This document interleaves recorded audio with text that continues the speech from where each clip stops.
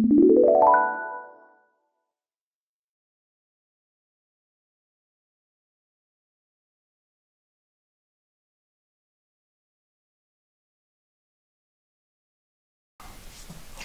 dia, lectores i lectors. Avui llegiré fragments d'aquest llibre de Isabel Allende, Mujeres de l'alma mía, per el Dia de la Dona.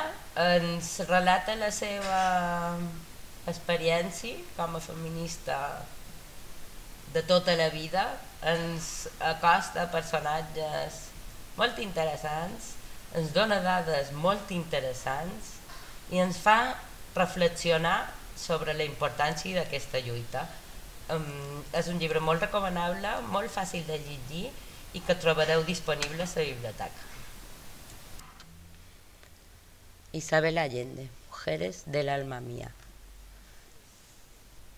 No, calladita, no estás más guapa.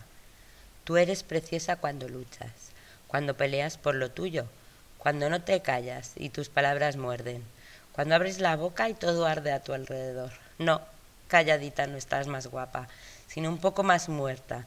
Y si algo sé sobre ti, es que no he visto a nadie jamás con tantas ganas de vivir. Gritando. Miguel Gane. La violencia contra las mujeres es universal y tan antigua como la civilización misma. Cuando se habla de derechos humanos, en la práctica se habla de derechos de los hombres. Si un hombre es golpeado y privado de libertad, es tortura. Si lo mismo soporta una mujer, se llama violencia doméstica y todavía en la mayor parte del mundo se considera un asunto privado. Hay países donde matar a una niña o una mujer por una cuestión de honor ni siquiera se denuncia. La Organización de las Naciones Unidas calcula que 5.000 mujeres y niñas son asesinadas anualmente para salvar el honor de un hombre o una familia en Oriente Próximo y Asia del Sur. Según las estadísticas, en Estados Unidos, una mujer es violada cada seis minutos. Esos son los datos reportados. En realidad, el número es por lo menos cinco veces superior.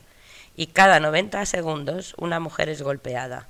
El acoso y la intimidación se dan en el hogar, la calle, el sitio de trabajo y en redes sociales, donde el anonimato fomenta las peores manifestaciones de misoginia. Estamos hablando de Estados Unidos, imaginen cómo es en otros países donde los derechos de las mujeres están en pañales. Esta violencia es inherente a la cultura patriarcal, no es una anomalía. Es hora de que la llamemos por sus nombres y la denunciemos. Ser mujer significa vivir con miedo. Toda mujer lleva impreso en su ADN el temor al macho. Lo piensa dos veces antes de algo tan normal como pasar delante de un grupo de hombres ociosos. En lugares supuestamente seguros, como sería, por ejemplo, el, campus de una universidad o una institución militar, hay programas para enseñarles a las mujeres a evitar situaciones de riesgo, partiendo de la base de que si, si es atacada, la culpa es suya. Estaba en el lugar equivocado a la hora equivocada. No se espera que los varones cambien su conducta, más bien se permite hasta que se celebra, hasta se celebra la agresión sexual como derecho del hombre y característica de la masculinidad. Afortunadamente, esto está cambiando de forma rápida, al menos en los países de primer mundo, gracias a MeToo y otras iniciativas feministas.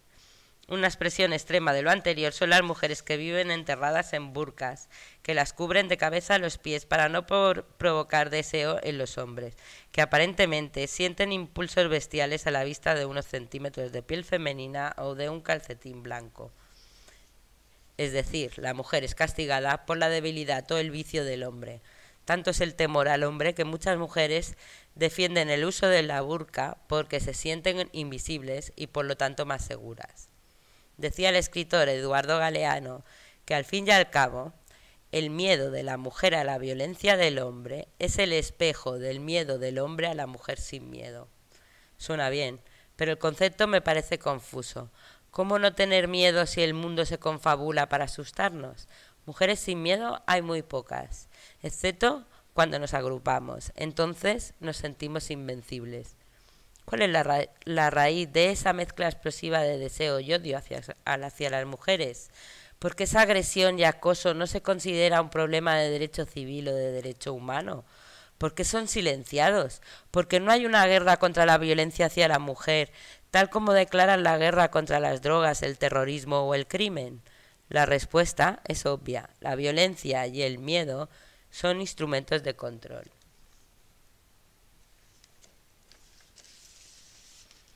Según la Organización Mundial de la Salud, 200 millones de mujeres han sido víctimas de mutilación genital y 3 millones de niñas corren el riesgo de sufrirla ahora mismo en partes de África, Asia y entre inmigrantes en Europa y Estados Unidos. Si tienen estómago, vean en internet en qué consiste esta práctica en que las niñas les cortan el clítoris y los labios de la vulva con hojilla de afeitar, cuchillos o trozos de vidrio, sin anestesia ni medidas mínimas de higiene. La mutilación de las niñas es realizada por mujeres que sin cuestionarla repiten una costumbre cuyo fin es impedir el placer sexual y el orgasmo. Los gobiernos no intervienen, escudados en que es una costumbre religiosa cultural. Una muchacha que no ha sido cortada vale menos en el mercado matrimonial.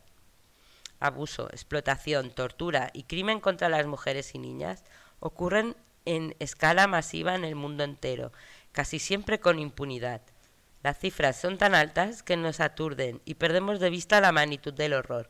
Solo al conocer a una niña o una mujer que ha pasado por alguna de esas espantosas experiencias, al saber su nombre, ver su cara y escuchar su historia, podemos solidarizar.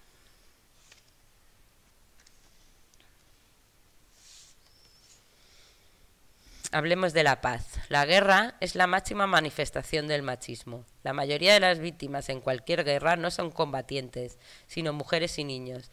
La violencia es la principal causa de muerte de las mujeres entre los 14 y los 44 años, más que la suma de cáncer, malaria y accidentes. Mujeres y niñas constituyen el 70% de las víctimas del tráfico humano.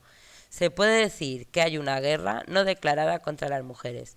No es de extrañar que deseemos paz antes que para nosotras y nuestros hijos. Una de las formas más eficaces de tener un impacto positivo en el mundo es invirtiendo en las mujeres.